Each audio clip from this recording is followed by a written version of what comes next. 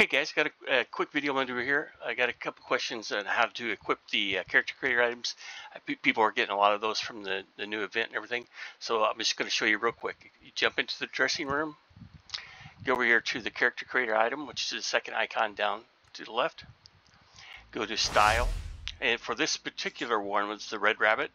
It's going to be a headwear. And as you can see here, once you get it completed, you see it's the MCC. Click on it, click equip and that's all you got to do. It's, it's pretty simple if you know where it's at. So there we go. We have our Red Rabbit's hat.